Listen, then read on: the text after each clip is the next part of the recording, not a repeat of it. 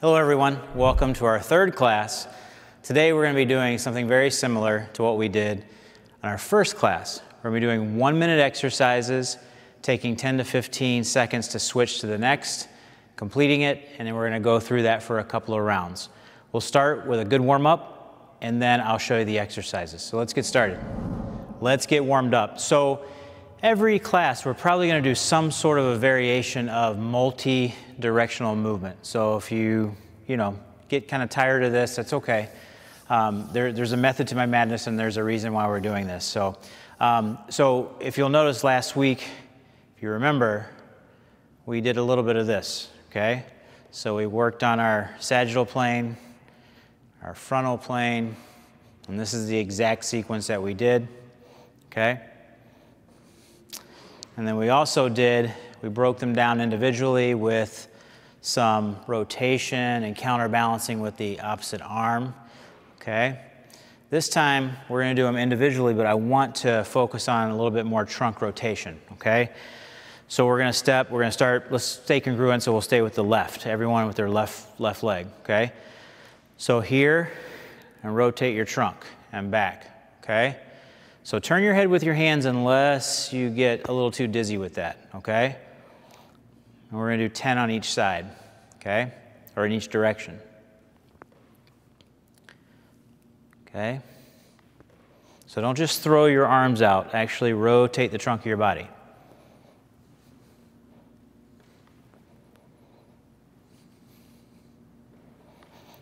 Okay? Now we're going to go the right leg and we're going to rotate towards the right. Okay? So we're always rotating towards the front leg. Two. Just let yourself move very fluidly. Three. Four. Five. You don't have to go very deep.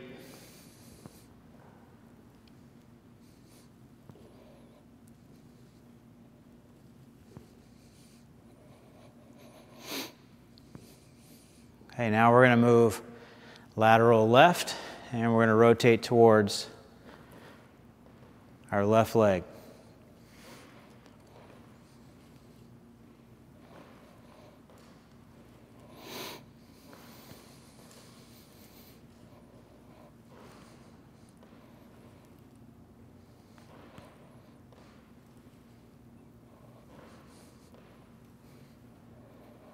Last one and switch. Right. Two. Three. Four. Five. Six. Seven. Eight. Remember, make sure the heel's down. Nine. 10. Okay, so we have two more directions to go. So now we're going to do a little rotation. If this one feels awkward or unsafe or you get dizzy, um, you can just stay with another set of the lateral, okay? So here, and notice I'm going to take my toe a little beyond perpendicular of my other foot, okay? So you don't want to torque the knee. I want to turn my toe out a little bit. One, and I'm going to pivot each time. Okay, two, three, four, five, six,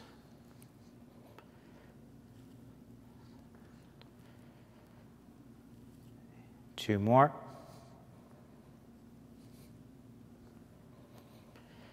And finally, we're going to go to the right, last time. Okay? Remember, toe points out a little bit. Okay? Your knee tracks your toe. Don't torque that knee. And rotate to your comfortable position.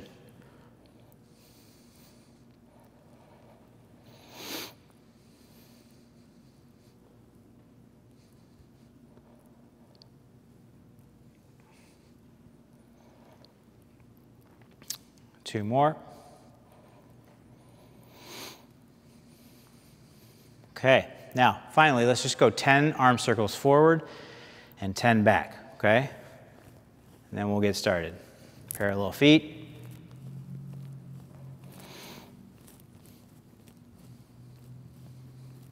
Okay, back.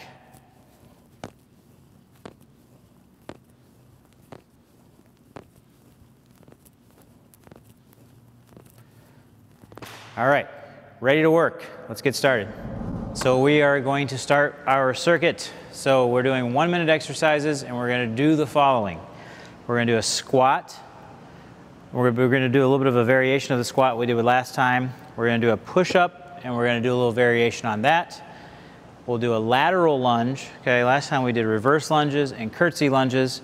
And then finally we'll do lateral raises with the dumbbells or like we used last time, you can use two cans of corn or peas, uh, two water bottles, whatever you can wrap your hands around and whatever has a little bit of weight to it. Okay, but if you have a you know a pair of two, one, three pound, whatever dumbbells, you can use those as well. So last time when we squatted, I showed you some variations. I showed you uh, you know how to hold on to your kitchen counter, a very stable table. That's very important. Don't grab something that's flimsy. Um, or you can use a railing, like maybe on your second floor. Okay, something stable, something you feel very, very safe. Okay, it's very important.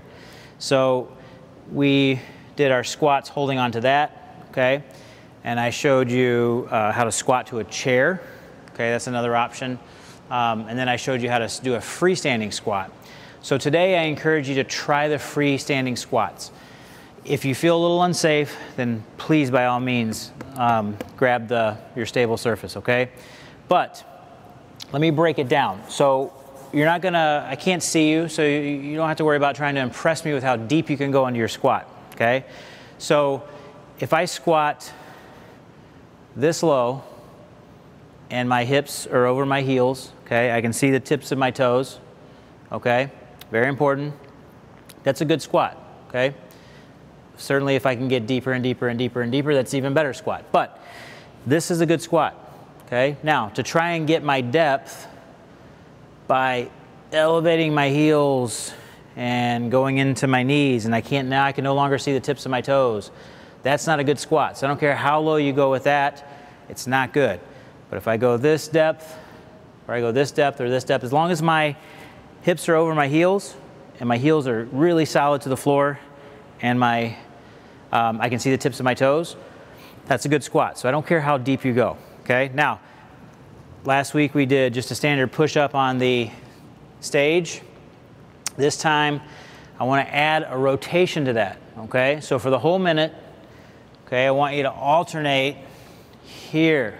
Now notice this hand is over my shoulder, shoulder, shoulder, shoulder, hand. Okay unless there's strain, don't strain. So if, if, if, you feel too much strain in your shoulder and your back, shorten up that range, okay? But shoot for this perfect alignment, okay? And then your head turns with your hand unless you get dizzy, okay? If you don't feel comfortable with that, by all means stay with the regular push-up, okay, for the full minute. Okay, so I'm alternating here, here, okay? Now, I want everyone to use their stable surface. So we're going to do a lateral lunge. So what we warmed up with with our pattern here, here, and then we went lateral like that. Okay, so that's really just to get the hips warmed up, get the internal core temperature elevated. But for the exercise, I want you to try to go a little bit deeper. Okay, so from here, okay, try to go a little deeper than you did with your warm up. Okay, so I'm going to try to get maybe three or four more inches in depth, okay? So that's my goal, okay? Try to get a little bit deeper. Then we're gonna do a lateral raise, okay? So this will probably be the most fatiguing one that we have done so far. So you don't have to get very high, and I don't want you to get high and flex forward or you know try to do this, extend too far too far back. So if you have to shorten it up, you can keep it short, okay? Just get the shoulders working. If you can get to parallel, by all means, or if you start to get to parallel and you start to really get fatigued, you can shorten it up. Okay, any exercise that we do, I don't expect you to complete the entire minute if you're starting to feel shortness of breath or if you just get overly fatigued or you just frankly need a rest. So the clock's gonna keep running, but I want you to play it safe and, and go at your pace, okay? So if you do half of that and do 30 seconds, that's, that's totally fine. So just have fun with it. All right, we're gonna start with the squats and I'll give you, say 10 seconds to get to the next exercise. Okay, let me pull up my timer. So we're gonna start with squats and again, I encourage step away from your stable surface, Go as deep as you can, and I don't care how deep it is, as long as the weight's in your heels, see the tips of your toes. Try, play around with your, your width of your feet, at least outside your hips, okay? So nothing inside the hips, and certainly nothing outside your shoulder width. So somewhere within here, okay, if I have to bring my feet out just a little bit and it allows me to keep my heels down more and I can get a little bit deeper, then that's probably the good position for you, okay? So we'll get started. One minute, three, two, one, and go. Okay? Keep the heels loaded. Okay? Go to a depth that feels comfortable. One minute, and I'll give you a halfway mark. Keep your chest up. Okay? So you want to extend through your thoracic spine. Okay? So here, when I lift, I don't have to crank on my lumbar Okay, I lift my chest and I go into squat, but I stay erect through my spine, halfway. And again, if you feel safe, you don't feel safe, grab your stable surface and do your squats, okay? And if you want to do it like this every time we do squats, perfectly okay. Almost there. 10 seconds. Weight in your heels. See the tips of your toes. Three, two, one, and switch. So we're going to switch to our push-up and rotation, okay? If you feel more comfortable just doing push-ups, do push-ups. I'll add variations from time to time or, or um, make it a little more challenging, but by all means you can stay with what you feel safe with. Ready in three, two, one, go. Okay, rotate, line it all up. I'm starting to go down in my push-up as I'm rotating back, okay? Line it up, rotating the trunk of my body. My heels don't have to be down, okay? If you have really flexible calves and you can go into a full push-up without lifting your heels, by all means, but that's not the goal. Halfway, okay? You can stay elevated onto your, your heels elevated. Push, rotate, line it all up. Turn your head with your hands unless it makes you dizzy. Almost there. Three, two, one, rest. Okay, switch. We're to go to our lateral lunge. Make sure you have enough room um, to where you're not bumping into something. And try the non-traveling leg, so your grounded leg. Okay, so if I'm moving to my left, this is my traveling leg. Try and keep your grounded leg a little straight. Okay, don't lock that knee tight, but try to keep it straight so you get a stretch through your inner thigh here. Okay, and then same on the other side. All right, ready in three, two, one, go. So, toes straight ahead. Again, weight in the heels. I'm doing a lateral lunge I'm kind of in this partial squatted position, but I can see the tips of my toes, okay? Or tip of my toe. Toe straight ahead so my knee tracks my toe, okay? If I turn it out and I'm lunging in this position, again, I, want, I don't want to put torque on my knee. Halfway.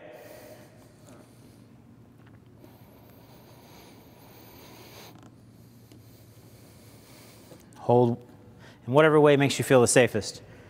But challenge that depth a little bit more than you did when we were warming up.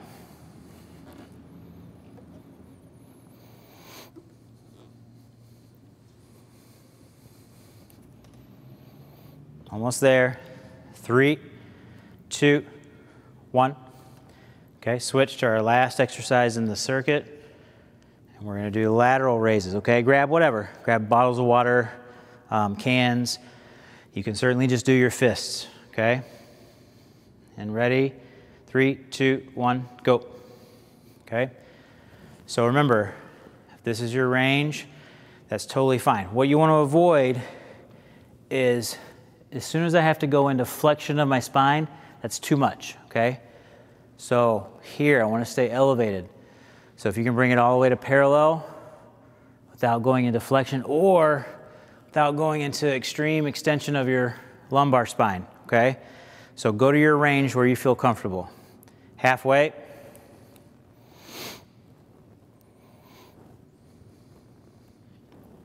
And look straight ahead. So try not to look down, try not to look up, look straight ahead. Keep your spine neutral. Okay, like I said, this will be the most fatiguing one that we do.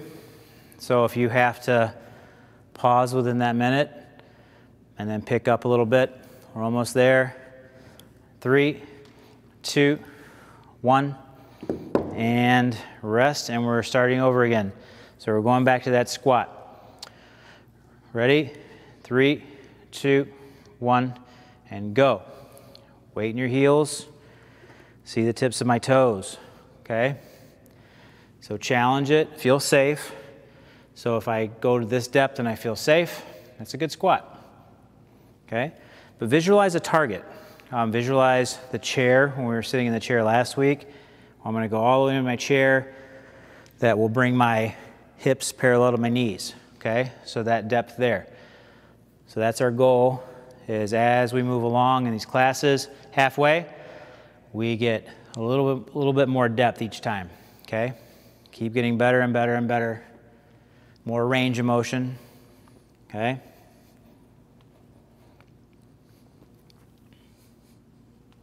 Remember, if you need to hang on, hang on to your stable surface. Okay? Almost there. Three, two, one, and rest. Okay, good job so far. Now we're going to go back to our push-up and rotation. Again, stay with the push-up if that's what you feel comfortable with. Three, two, one, and go. Push up, rotate. Okay. Push.